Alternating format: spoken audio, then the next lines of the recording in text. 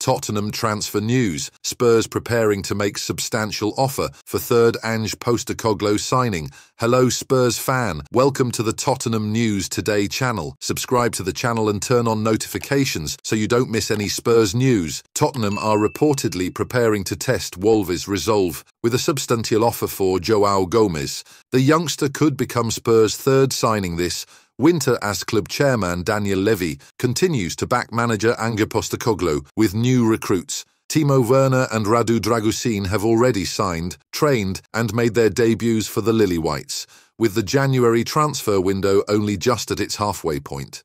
The majority of Spurs Premier League rivals have done little to bolster their squads. In a bid to maintain momentum, Tottenham are rumoured to be weighing up a third January swoop, which could tick the final box on their winter to-do list.